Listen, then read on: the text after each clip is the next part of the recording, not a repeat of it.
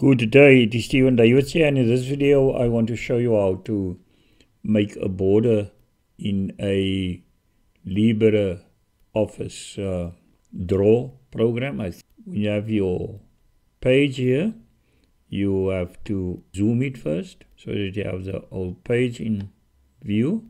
I must just mention this is a workaround because I do not know how to create the borders. I tried uh, everything as, uh, that was uh, suggested.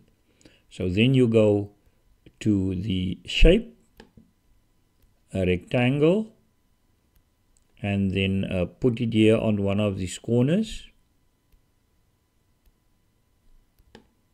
then just drag it uh, to cover the whole uh, area there. Use a rectangle.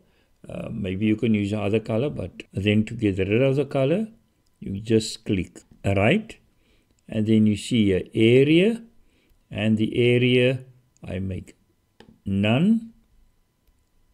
Okay there is the area so it's clear. You can see inside. You can still in type inside it doesn't matter. But now the border is uh, there but the border is a little bit thin. Not necessarily what I want to so I click again on the border. Go to line. And in line then I choose whatever type of border I want, the style.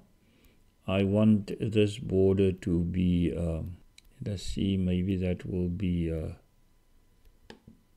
and then let's make it the size a little bit uh, bigger and the width. Okay. Let's see how it looks. We love constructive criticism and comments. Please like and share the video and please subscribe.